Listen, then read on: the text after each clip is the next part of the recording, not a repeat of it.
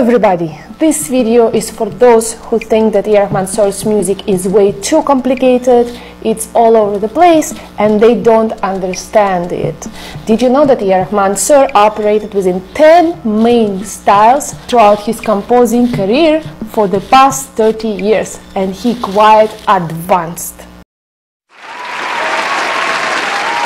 First of all, the disclaimer is that these observations are based purely on my own musical experience as a classical musician and are based on the experience of listening to South Indian music. And obviously, my personal experience is the most reliable experience in the world, so you can absolutely trust it. Style number 10 Retro Melodies.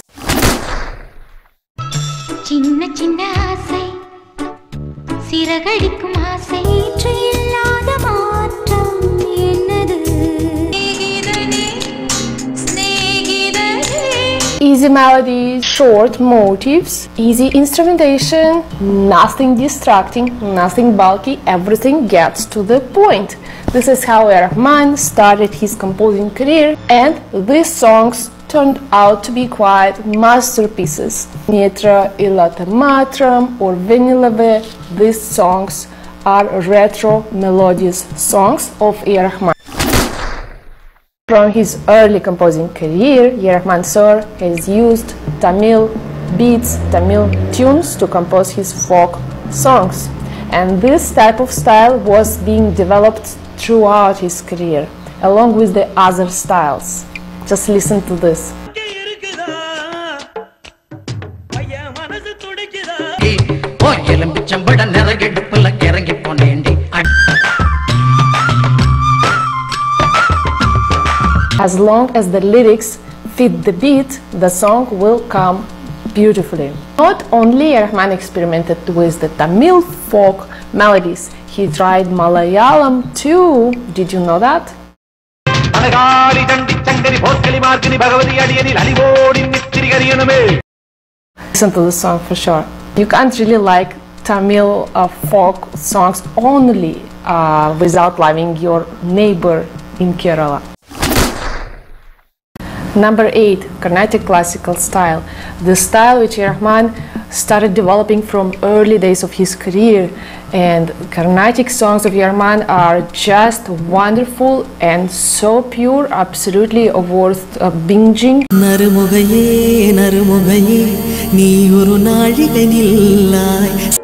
அலைபாயுதே கண்ணா என் மனமலைபாயுதே மின்சார பூவே பெண் பூவே மெய் தீண்டவே of course, A. Rahman is such a versatile composer, and it's difficult to imagine a better person who will wrap the Carnatic melodies into the modern instrumentation, thanks to his numerous predecessors and teachers.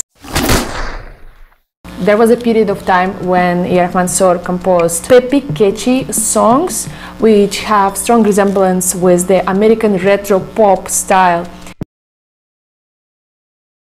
These songs will have repetitive motif, repetitive beat.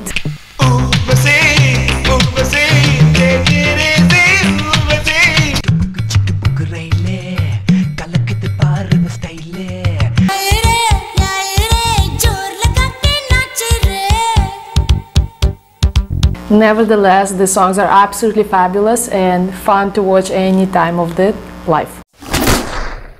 Number 6 Bollywood songs with the twist. Yes, this is funny. After his success in Rangila as a Hindi movie, Rahman Sir had thought that, oh yeah, I can totally do this, and in fact, I can actually elaborate the topic and see what he brought there. While any person uh, who would have watched a Hindi movie of 90th, including me, would have been just used to this type of music.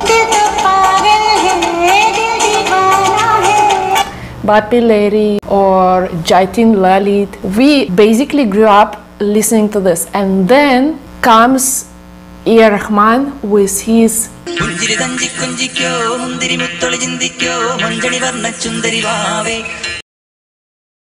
What?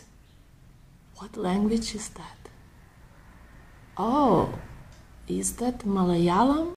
And for all of us, it was like, oh, there is a state called Kerala and they speak language called Malayalam uh, and their music is quite something I've never heard before. And also see how A. Rahman rapped the Malayalam recitative at the beginning with that bass lines. Rahman has created a completely different, unique texture here. Number five, international influence. A.R. Rahman Sor has said in his interviews many times that he would listen to the music of Japan or music of Peru or other South American countries. And he thought, why don't I try this trend for the Indian music?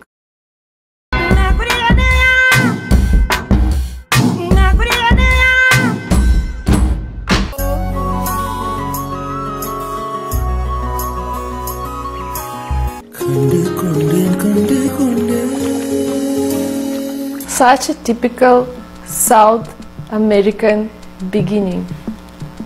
I really like that A.R. Rahman in one of his interviews uh, with the, Our Stupid Reaction said that luckily our Indian audience doesn't mind new trends. So it's not like you have to stick to only Carnatic or to only folk music. You can actually implement new trends. So that's exactly what he was doing. And bravo, wow. Such tendencies you will find in the songs of 2000s like Kadhal Anukkal, Kandu Konding. Number four, and you'll say here, enough of innovations and experimentations. We've done a lot of it, we can't take it anymore. But guess what? During this time, the Sufi music is flourishing. Rahman Sor has just exploited the Sufi style and he just excel in that. One of the best songs of A. Rahman are Sufi songs. They're incredible, they're amazing, and they're very soulful. Of course, this didn't happen without the influence of Ustad Nusrat Fateh Ali Khan.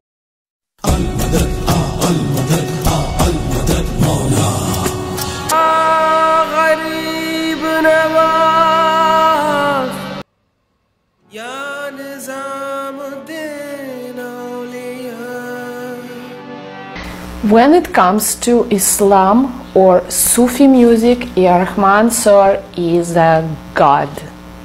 I'm not even kidding. And again, here you say, stop, uh, we are done exploring. It's way too many styles. Sufi was the last incredible style. Rahman Sir has developed, but no, there was a time when there was a need in electronic and robotic music. And then A.R. Rahman started thinking, okay, let me try this new robotic concept electronic instruments, rap.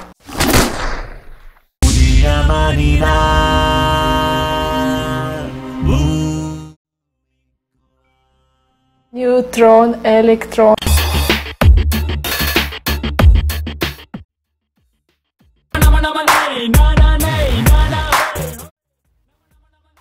You can never believe this song was written by the same composer who did Kun Faya Kun or Khwaja Mere Khwaja. This is not possible. Incredible transformation, incredible unknown avatar of. Rahman, a different side of him. Electronic era started around 2010 and even nowadays we can hear some of the songs with that electronic rap style. Then people were saying, oh, we like this, but we are missing some melodies, we are missing some more instrumentation, we need melody to come back. And then A. Rahman Sir started experimenting with the American pop or musical genre.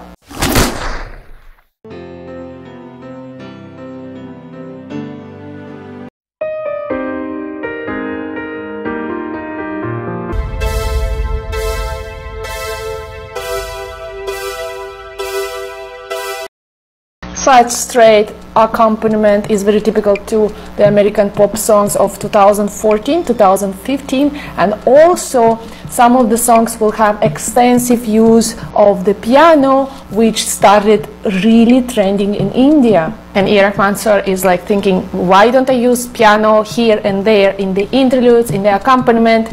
It sounds nice. By the way, he is the one who owns the Russian School of Music in Chennai. So if you want to learn a Russian style of piano, go to his Chennai Conservatory. I'm not sure how Russian is that though. I need to go and check it out and validate. So I'm going there. And the last one. So Rahman has tried every possible style and then what can I try? What is the next style I can try? And he's like, okay, let me try experimental style. See how you like it, guys. ஒன்றை வீசினார் என் தேவதை இசைமொழி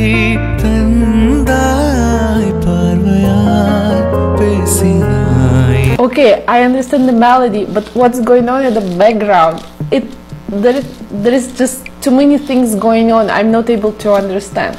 So for those who think like that, this style is called the experimental fugue. When you get the melody and another melody and another melody and create the counterpoint where all the melodies will go in the same direction by intertwining between each other and that creates the polyphonic texture or the fugue. And E. Rahman thought that, yeah, I can try the fugue and I will blend the, some Carnatic melodies and I will also blend some Western harmonies and see what comes up. And we have Punnagai Mayai as the result. So if you have not understood that song from 99 songs, not a big deal because I don't think too many people will understand that anyways. To wrap it up, I personally have not seen a more prolific composer in my life, even among the Western classical composers, who will deviate so many times, develop so many styles and genres, go outside of the boundary, take so many risks, impose them on the audience, get the feedback, sometimes not very positive, and this is all one person, one composer. His name is. R. Rahman.